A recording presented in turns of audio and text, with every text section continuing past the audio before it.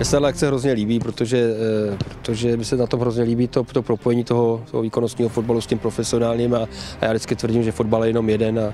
a všichni, všichni, jako všechno, všichni talenti a všechno vlastně v tom fotbale eh, se děje od spoda a ne, a ne od zhora, takže tyhle, ty, tyhle ty soutěže a ty kluci, kteří se tady tomu fotbalu věnují, je hrozně důležitý a, a jsem rád, že to tak je, tohle propojení já osobně považuji za šťastný.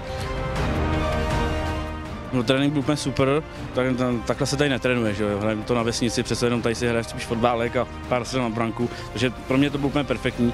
A já jsem si připomněl, jako když jsem trénoval za Doros, Robert, když jsem hrál divizi a tuto, tak ty tréninky mi přišly podobný a bylo to super prostě. Výborně přikrytá branka, dobrý nápad, skvělý, ano. Mně se líbily to cvičení, jak jsme tam dávali třeba ty goly do ty branky a tuto